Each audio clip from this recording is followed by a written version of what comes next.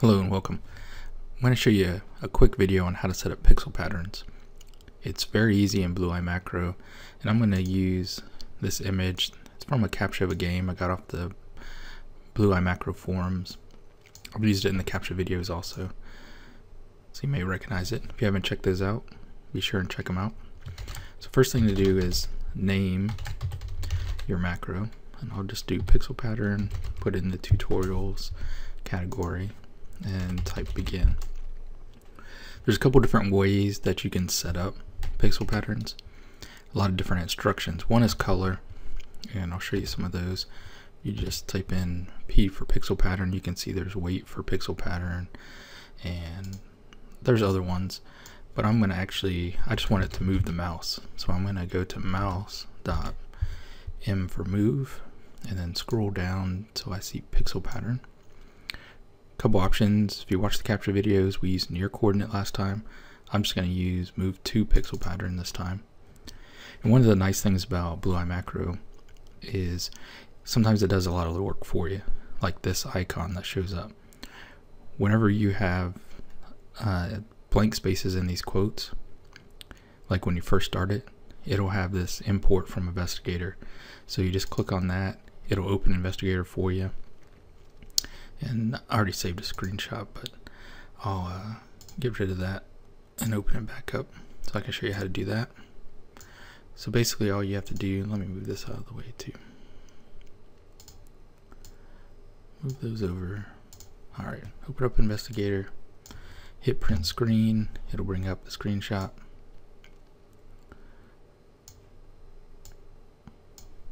I'll minimize the real one so you can just see investigator so this is inside investigator, it's taking the screenshot.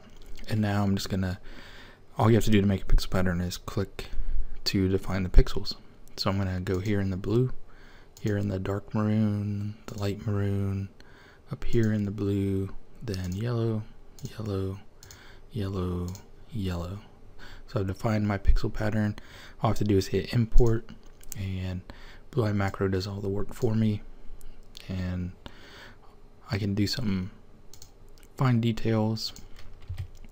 Like here for the range I'm just gonna put 10 and then for yes or no this determines where it's gonna go. Since I'm moving the mouse it's either gonna go to the center kind of like the average of your pixel pattern or is it gonna go to the first pixel in the sequence?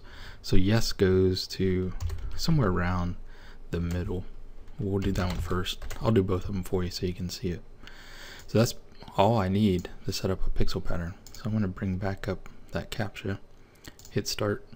As you can see, it moved right here, which is about the center from our top line of the blue and maroon to our yellow. it was about the center right there. Alright, so let me bring this back and I'll type in no. And now it'll go to the first pixel. The first pixel would be in the blue. The first blue over here. So I'll hit start as you can see it went to the, the blue there. So you can use that um, to your advantage however whatever you want to do with the macro. Um, keep that in mind the difference between yes and no. Sometimes it's better to go to the first pixel.